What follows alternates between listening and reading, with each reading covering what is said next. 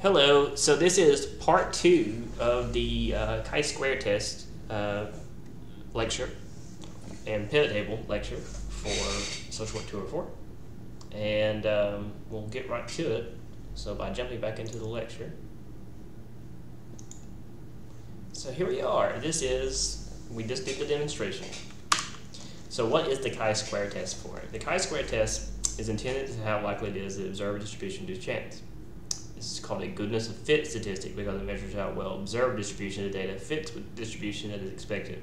In other words, what we just did in Excel, we had the expected table and the observed table. And the expected table is mathematical calculations. It's saying, okay, if everything is held constant, then in order, in other words, we're, we're controlling for variables, then we expect this to come out of it. Now, if things are different, the observed will reflect a difference. And recall facility, recall the robbery data, whereas like there really wasn't any difference anyway. So you know, we get a high p-value, 0.99. So a chi-square test is designed to analyze categorical data. That means that the data has been counted and divided into categories. It will not work with parametric or continuous data, such as height inches uh, we would have to recode age into categories. So, like, you know, 21 through 23 would be a category, for example. So, we will move forward to the next slide. For example, if you want to test whether attending class influences how students perform an exam, using test scores from 0 to 100 as data would not be appropriate for chi-square. However, arranging category students into a category pass or fail would. Additionally, the data in chi-square grid should not be in form percentages or anything other than frequency. Thus, by dividing a class of 54 into groups according to whether they attended class and whether they passed the exam, you might construct a data set like this. You see kind of exactly like a yes-no data. Did they attend or did they skip? Pass, fail. So if you attended class, 25 passed and 6 failed. But if you skipped class, 8 passed and 15 failed. We can already see a pretty decent difference there by eyeballing it. So for the important thing here is be very careful with your when you're constructing your categories. A chi-square test can tell you information based on how you divide up the data. And I'm going to move my, my camera image real quick to the top of the screen. I'm going to make it a little smaller too. So that being said, uh, be careful when you're constructing your categories. A chi-square test can tell you information based on how you divide up the data and it, can, it cannot tell you whether the categories you're constructing are meaningful. So, in other words, when you're coding your data, be very careful in how you code it and make sure your categories make sense. For example, if you're working with data groups on people, you can divide them into age groups 18 through 25, 26 through 40, 41 through 60, or income level. But the chi-square test will treat those divisions between those categories exactly the same. It holds no discrimination. It's like, oh, it's a 36 year old to 40. They're the same thing as 21 to 25 year olds. So make sure your categories make sense, okay? Uh, as divisions between male and female or alive and dead. It's up to you to assess whether your categories make sense and whether the difference, for example, between age 25 and 26 is enough to make the category 18 through 25 and 26 through 40 meaningful. So when you're breaking those down, you can definitely tell the difference between an 18 year old and a 20 year old, 18 through 20, than a 30 through 35 year old. They behave differently uh, if they're at different stages in their life. They have different, you know, like one's going to college and the other's, you know, working. Uh, I mean, you get an 18 year old that's working full time too, but it's just, they're still at different stages in their life and they'll have different you know, experiences at that point in time. And that does shape how you behave. So, there is something to think about. Make sure that you uh, your categories make sense and that they're they're comparable. You know, like I said right here, if you're if you're comparing male and female and dead and alive, it's not really something you should do. It's not the same thing. So, moving forward, another way to describe the chi-square test is that it tests the null hypothesis that the variables are independent. The test compares the observed data to a model that distributes the data according to the expectation that the variables are independent. Wherever the observed data doesn't fit the model, the likelihood that the variables are independent becomes stronger, thus proving the null hypothesis incorrect. The following table would be uh, represent a possible input to the chi-square test. Using two variables to divide the data, gender and party affiliation, two by two grids like this one are actually a basic example for the chi-square test. But in actuality, any size grid would work well, three by three, four by two, whatever have, whatever have you. So this shows a basic two by two grid. However, it's an actually incomplete in a sense. Generally, you want to have your marginal, which is like, you know, the totals on the sides there. So information given the total counts for column and row as well as for the whole data set. showing as in the bottom image. We now have a complete data set on distribution of 100 individuals in the categories of gender, your male or female, or your party affiliation, Democrat, Republican. A chi-square test would then allow you to test how likely it is that the gender and party affiliation are completely independent, or in other words, how likely that is the distribution of male and females in each party is due to chance. So as implied, the null hypothesis is the case that would be that the gender and party affiliation are independent of one another. In other words, uh, they don't matter when it comes to like your decision making. So to test this hypothesis, we need to construct a model which estimates how the data should be distributed if our hypothesis of independence is correct. This is where the totals we put in margins become handy. In other words, we now are calculating um, that expected uh, range that we did earlier. So using statistical tests without having a good idea of what it can and cannot do means that you may misuse the test. So, but it also means that you won't clear a grasp of what results will mean. So even if you don't understand the detailed mathematics underlying the test, it's not difficult to have a good comprehension of where it is or isn't appropriate to use. Remember that chi-square is not for interval ratio comparison. I mean, you can code it down to category from interval ratio, so you can do it still. But if you have um, that kind of data, you're better off doing another type of analysis. So first of all, the chi-square test is only meant to test the probability of independence. It will not tell you any details about the relationship between them. In other words, you know, as one increases, the other decreases. You won't get that from chi-square. If you want to calculate how much more likely it is that a woman will be a Democrat than a man, then the chi-square test is not going to be very helpful. However, once you have determined the probability that two variables are related using that chi-square test, you can use other tests to explore that interaction in more detail. The variables you consider must be mutually exclusive. A participation in one category should not entail or, or allow participation in another. In other words, the data from your cells should be added to the total count and no item should be counted twice. So don't overlap your data when you're asking. Remember that problem we had uh, with uh, age, if you if you construct your categories as age 20 through 23 and 23 20, through 26, you're counting 23 year olds twice, which is not what you want to be doing. So make sure you're separating, you know, your age groups actually being 18 through 22 and 23 through 25. That way you don't count two people twice.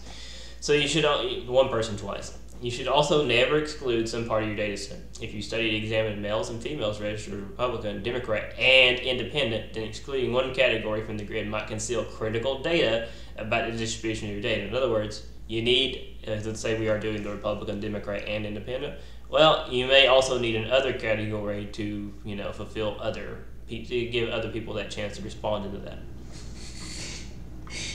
It, it matters a lot that you, you count everything because if you don't count everything, then your data is going to be off.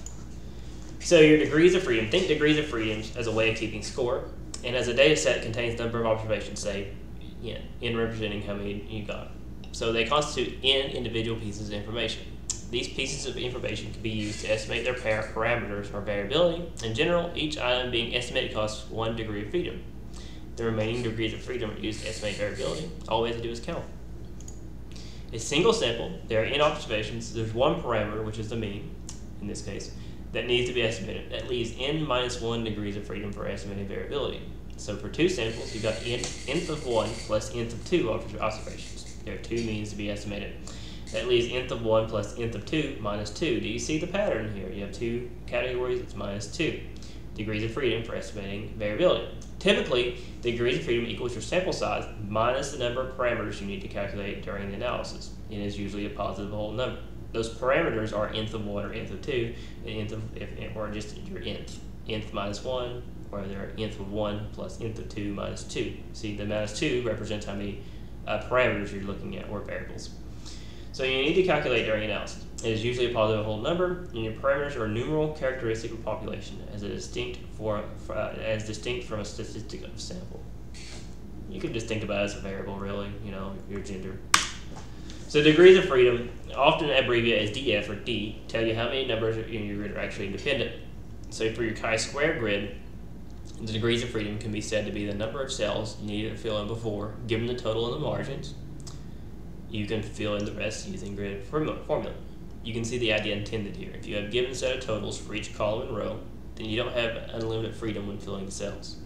So let's say that you can only fill in a certain amount of cells with random numbers before the rest just become dependent on making sure the cells add up to totals. Thus, the number of cells that you can be filled independently tells us something about the actual amount of variation permitted by the data set. So, this is just a way of checking your your um, your variation in a way. And you know, it's just to explain n minus one and the kind of like the mathy bits behind chi-square. Don't have to worry too much about it, honestly. So the degree of freedom per chi-square grid are equal to the number of rows minus one time the number of columns minus one. That is r r minus one times c minus one. In our simple 2 by 2 grid, the degrees of independence therefore are 2 minus 1 times 2 minus 1, or 1. Note that once you put the numbers into one cell, 2 by 2 grid, the total, the, the total determines the you. Degrees of freedom are important in chi-square tests because they factor into your calculations of the probability of independence, or if you know null hypothesis is rejected or not. Once you calculate that chi-square value, you use this number and degree of freedom to, de to decide the probability or your p-value. This is a crucial result of the chi-square test. That means knowing the degree of freedom is absolutely crucial. Now that we've sidetracked in the degree of freedom, we're going back to chi-square. Earlier, I showed you a simple example of observed versus expected data. So using an artificial data set on the party affiliations of males and females, I will show them again below. You have their the data sets. Then we will focus on a based on the null hypothesis that the distribution of data is due by chance. That is, our models will reflect the expected distribution of data when the hypothesis is assumed to be true. But as I mentioned before, the case of dividing up this data is due to simplicity of the distribution I choose. So how do we calculate that expected distribution of a more complicated set? Now, if you need to see how this works in action again, refer back to part one of the lecture. So here is the grid for an example, earlier example I discussed, showing how students who attended or skipped class performed an exam. The number for this example are not so clean. Fortunately, we have a formula to guide us. So the estimated value for each cell is the total for its row, multiplied for the total of its column, then divided by the total for the table. That is row total times column total divided by grid total. Thus, in our table above, the expected count in cell 1, 1 is 33 times 31 divided by 54, or 18.94. Don't be afraid for decimals for expected counts. They're meant to be estimates. In other words, you will see decimals, even though if you're working with completely whole numbers. It's okay to see a decimal. This is just estimates, okay? So it's time to put our data to the test. You can find programs that will calculate chi-square for you. However, and later I will show you how to do in Excel. I did that for you earlier actually this time. For now, however, let's start by trying to understand the formula itself, which is x squared. Chi-square equals sigma, eth of 1, and then okay, so divided by oath O phi minus e sub 1 squared divided by e sub 1. So the variable and formula are not sim sim simply symbols, but actual concept that we've been discussing all along. O stands for observed frequency. E stands for expected frequency. You subtract the expected count from the observed count to find the difference between the two, also called the residual. Then you calculate the square of that number to get rid of the positive and negative values because the squares of 5 and negative 5 are of course both 25. You get a positive value from that. And then you divide the result by the expected frequency to normalize bigger and smaller counts because we don't want a formula that will give us a bigger chi-square value but just because you're working with a bigger set of data. And the huge sigma sitting in front of that, all it's asking is to sum every ice or i for which you calculate this relationship. In other words, you calculate this for each cell in the table, then add it all together, and that's it. So using this formula, we find that chi-square value for our gender slash party example is 20 minus 25 uh, squared, uh, squared divided by 25, plus 30 minus 30, 25 squared divided by 25, plus 30 minus 25 squared divided by 25, you know, and it goes on plus 20 minus divided, and you can see all that work there. And it comes out to be 1 plus 1 plus 1 plus 1, which comes out to 4. What a very complicated route to get 1 plus 1 plus 1 plus 1. Here is another example of chi-square in Excel if you need to see a YouTube video that's not for me. And that will wrap up our, our chi-square discussion for the class. So I hope this, uh, this, this uh, video lecture was helpful for you. Um, please uh, enjoy it and watch it and use this to do your best. And I'll see you all next week.